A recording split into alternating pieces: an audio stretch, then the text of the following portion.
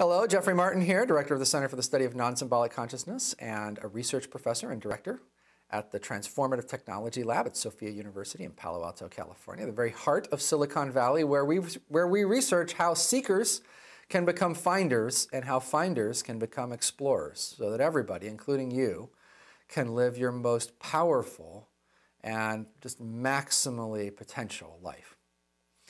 All right, I get a lot of questions from people who are terrified of transitioning to non-duality, enlightenment, persistent mystical states, etc. If you don't know, we call these persistent non-symbolic experience, or PNSE. It's our academic term. We spent 10 years getting to the absolute core of this experience. And so I think we all owe a huge debt of gratitude to all of the religions and spiritual systems and psychologies and stuff that have carried these things through humanity up to this point, but they've all kind of added their own little things onto it that aren't really that necessary. And so for 10 years, our project has basically been trying to strip those away and get to the absolute core. We've been very successful at that. In fact, in recent years, we've been successful at transitioning people. We have a protocol, a research protocol that helps literally 73% of people in our research transition to ongoing and persistent forms of non-symbolic experience in between one week and four months. Right? So we've been through the whole cycle. We've collected the data, we've analyzed the data, and then we've put our data to the test to see if we can get people there. And we've been researching for the last several years people before, during, and after their transition to this. So as you might imagine, as a function of that, a lot of people that come in and think about participating and using our protocol, which we call the Finder's Course protocol, kind of are like, well, you know, I've been watching some videos online and people that talk about this kind of stuff, they tend to talk about it like it kills you. like, like who you are has to go away.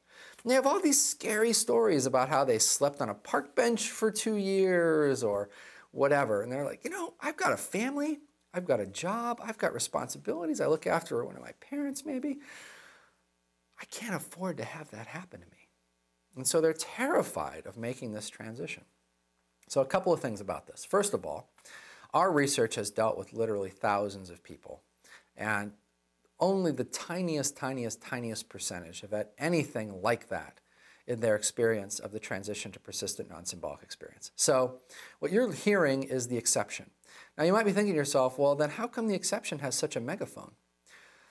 Those types of powerful experiences often lead people to a life change that really goes in the direction of advocating persistent non-symbolic experience. I mean, even with those impacts on their life, it's not like those people out there saying, gotta stay away from this, whatever you do, don't go anywhere near this stuff, right? Quite the opposite. They're out there trying to talk you into coming in to the fold, trying to talk you in to joining them in persistent non-symbolic experience, right?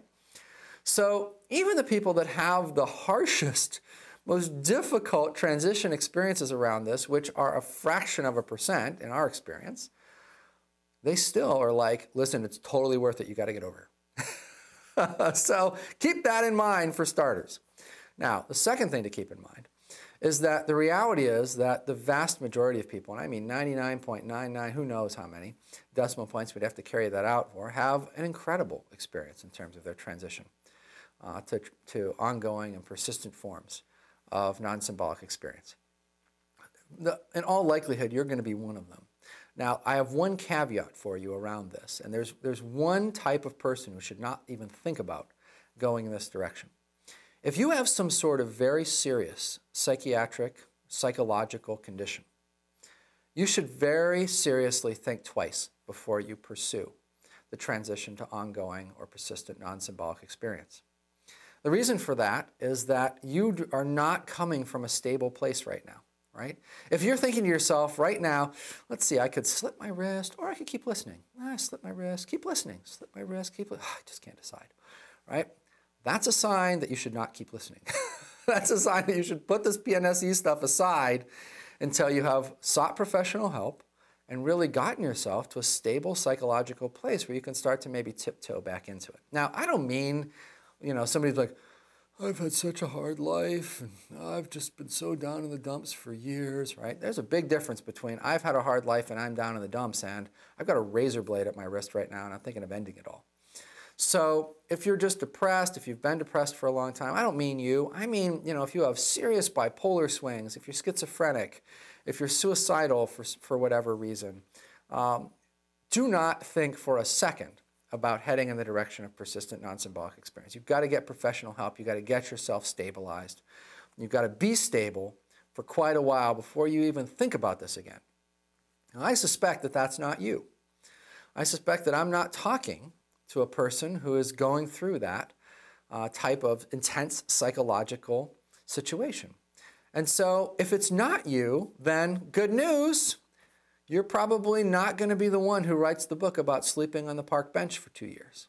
Right? If you think about the people who've done that and you really look into their histories, people who did have a really tough, massive transition, they were often psychologically unstable in some way, including you know, suicidal and stuff, before that transition occurred.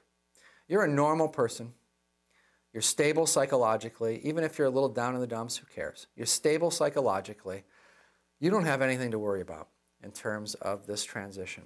And even if something did happen, even if somehow you became the first person to ever contact me and say, you know, I watched that video and oh, I just had a terrible experience. Okay, well, first of all, it'll be nice to meet you. Uh, I'll look forward to adding you into our research population. Second, there's a whole lot of help that you can get because you were stable just before this happened to you, and it's probably going to be pretty, pretty easy to get you stable again. But also, you have a tremendous advantage because you can always pull yourself out of it. See, most people think that persistent forms of non symbolic experience are permanent, but they're not. We call them persistent, we don't call them permanent.